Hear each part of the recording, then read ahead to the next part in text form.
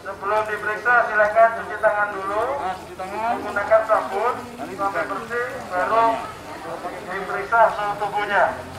Kasihan yang ini, yang belum punya, ini belakang juga masih belum punya.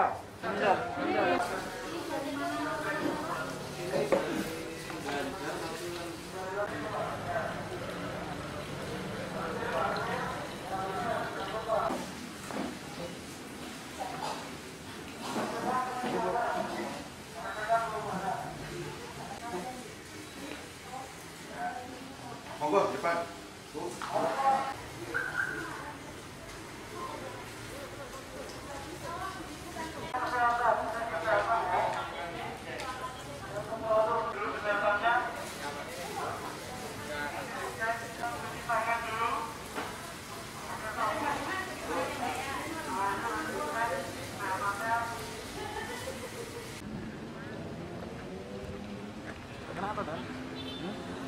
Yuk silakan cek suhu tubuh dulu ya temperaturnya. Sebelumnya cuci. Yang sudah silakan nanti berputar untuk undangannya melanjuti perjalanan.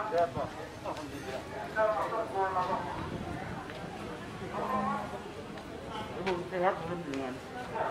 Hah? Ujung sehat. Ya toh, ini intinya sehat.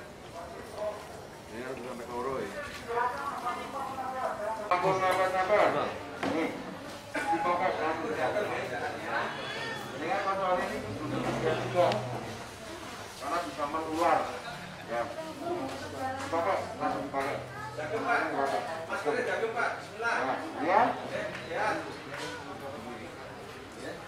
Nih, dipakai langsung dipakai. Dagem Pak, dagem dagem ya, dipakai dipakai. Langsung dipakai, langsung dipakai. Bro, bro, jangan pak. Bro, silakan. Nah, silakan. Masalah nih ya. Ah,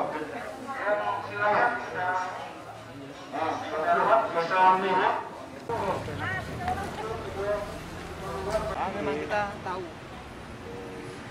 Ini ini pendidikan lingkungan buat masyarakat. Harus dicek terus ini. Masuk ono TV Mas. Dan penutup mulut. Pada saat Langsung pemeriksaan. Walaupun Jaga Mbak. Harus maskernya dipakai.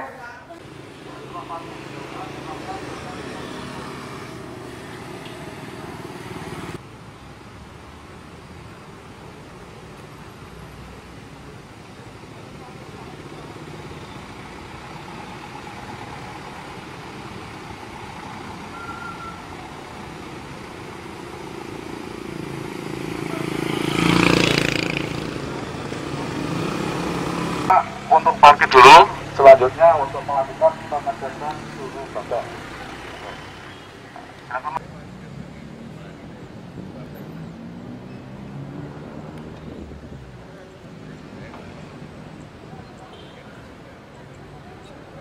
Eh, dalam rangka mencegah penyebaran COVID-19.